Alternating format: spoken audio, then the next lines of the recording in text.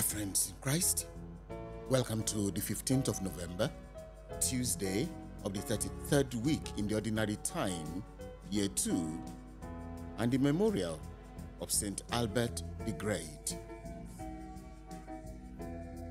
Albert the Great was born in Germany and studied at Padua and Paris before joining the Dominican order. He was a great philosopher of the Middle Ages.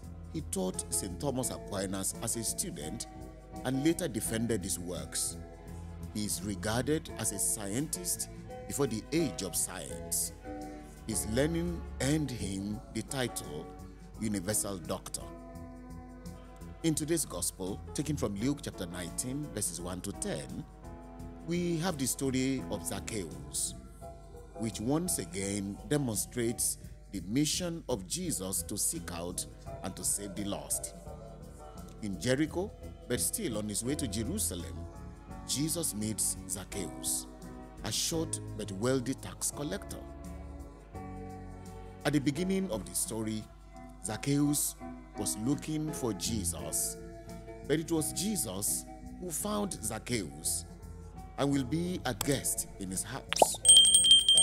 Zacchaeus was hated by the Jews, being a senior tax collector.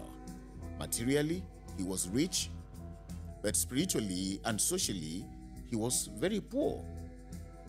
As someone working for the Romans, his job made him an enemy of his own people. Though despised by the people, when he heard that Jesus was passing by, he decided he must see him.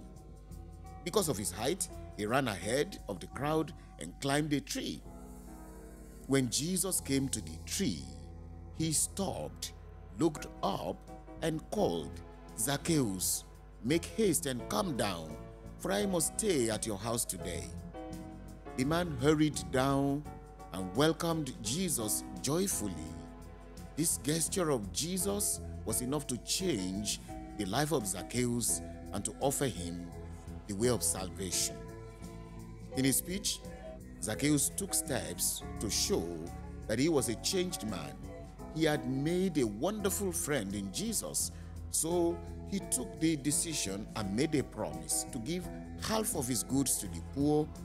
From the other half, he will make restitution for any fraud he had committed. He said, Behold, Lord, the half of my goods I give to the poor. And if I have defrauded anyone of anything, I restore it fourfold. That is the effect of the loving visit of Jesus to the sinner. For he has come to seek out and to save the, what was lost.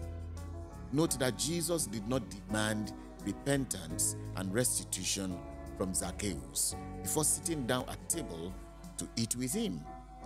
Jesus overlooked his wrongdoings in the hope that he will repent. And indeed, Zacchaeus was moved to repentance. Jesus comes to you too in his word and the Eucharist. Will you show your appreciation by making a new resolution to repent of your sins and change your way of life? Can your resolution also include restitution as a sign that you are truly sorry for what you have done and want a clear break from that past?